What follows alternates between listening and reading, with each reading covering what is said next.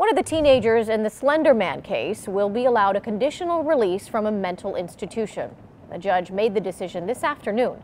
Mary Jo Ola is live outside the Waukesha County Courthouse. Mary Jo.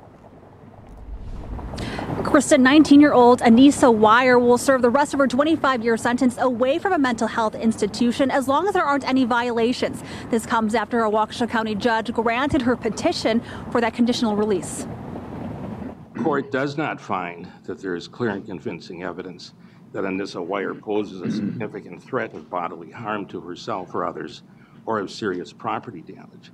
On that basis, then I'll grant the petition for conditional release. Thursday afternoon, Anissa Weier got the answer she had been waiting for when a Waukesha County judge granted her conditional release from a mental health facility.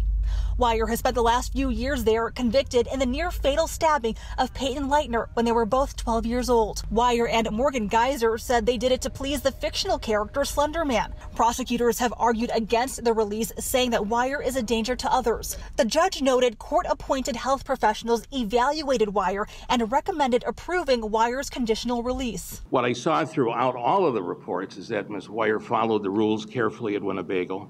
She never lied. She was honest. She there was no deception in her comments to the the uh, to the to the treatment personnel. She was cooperative. She expressed an understanding of the offense, and that's throughout all of the reports. Weier's attorney said the 19-year-old was happy about the news. She wants to make sure she continues improving and moving forward and gaining more insight and getting to a great place of health.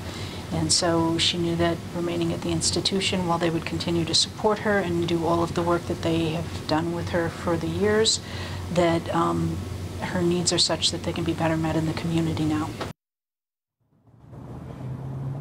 Family members declined to comment after the hearing. Now, Weier will remain at the institution until a life and treatment plan are approved and finalized by a judge. The next court date is September 10th. Now, we did receive a statement from the victim's family, Payton Leutner's family, in the last 20 minutes or so. It says here in part, through this entire ordeal, we have continued to place Payton's safety and the safety of the community as our top priorities, and those priorities will not change. Reporting live in Waukesha County, Mary Jo Ola, TMJ4 News. Mary Jo, thank you.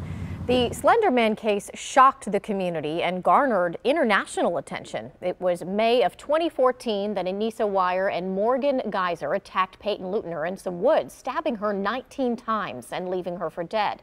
She was found by a passing bicyclist. Weier and Geyser were found hours later. More than three years later, in September of 2017, a jury ruled that Weier was not guilty by mental disease and should get treatment. And in November of 2020, Weier filed a petition in court for her conditional release, saying she would not pose a significant risk to herself or others.